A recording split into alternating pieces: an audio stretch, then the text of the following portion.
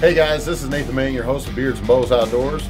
Now that I have camp uh, pretty much uh, said and done, finished, I want to show you guys a mouse trap that I use for catching these mice. We're going to leave it in here. That way, uh, any mice happen to get in here, we're going to get them. So, to do this basic mouse trap, you're going to want to get one of these just regular plain wooden snap trap here. You're want to get a Tootsie Roll. Get your Tootsie Roll. Get a toothpick. Get your toothpick. And I'll show you how to put this together. It works all the time.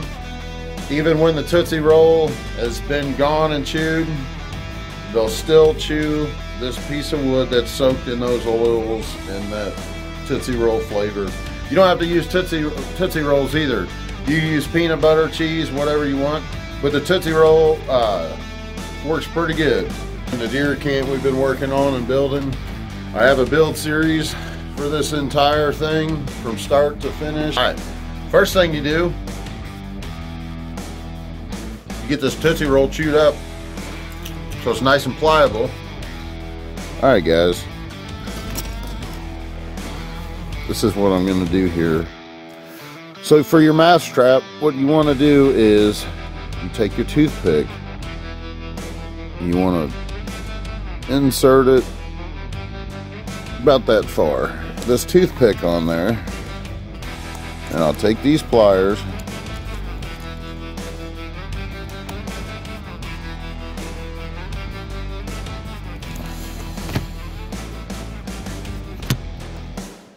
and I'll crimp it down. I'll crimp it down. That way you can't can't pull this out.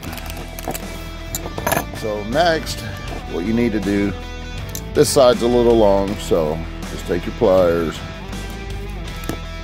roll it. Get pliers on this end,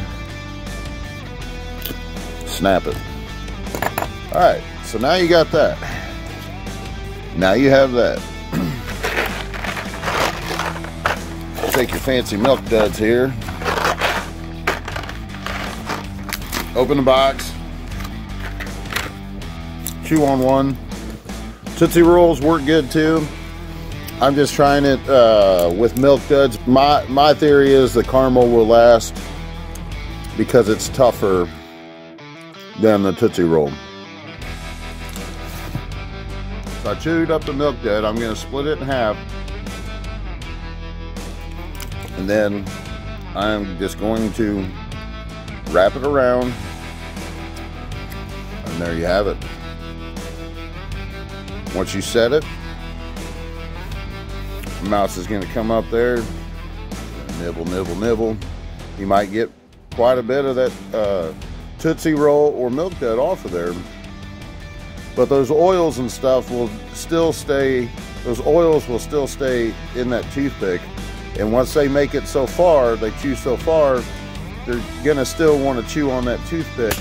And that's when they get got they'll go after the toothpick that's still in it and bam. This works. This really works. So all you need is a toothpick pair of pliers and a chewed up Tootsie Roll.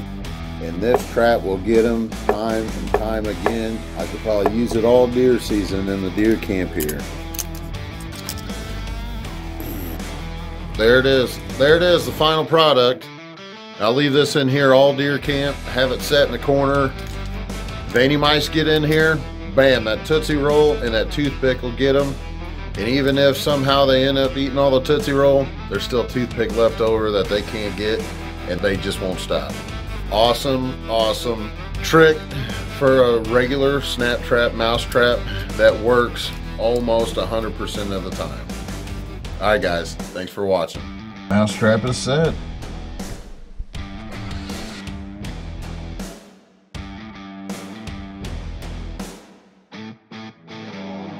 The Tootsie Roll Mousetrap. Except this is a very first in my shed here.